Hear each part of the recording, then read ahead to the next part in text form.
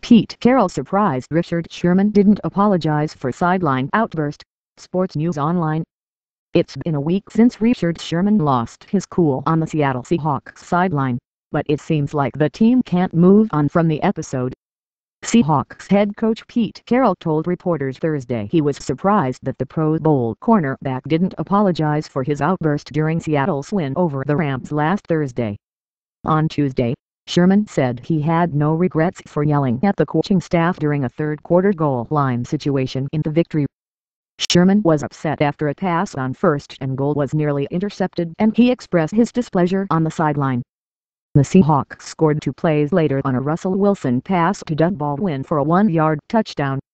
I don't like it when we throw the ball at the one-yard line, Sherman after the game. We throw an interception at the one. Luckily it went incomplete, and I wasn't going to let them continue to do that. I was letting Pete know. I was making sure Pete knew that we're not comfortable with you throwing the ball at the one. Toward the end of Tuesday's news conference, Sherman also lost his cool with a local reporter, telling Jim Moore of 710 The ESPN Seattle that he would ruin his career. Sherman expressed his fondness for the media on Twitter late Tuesday but fell short of formally apologizing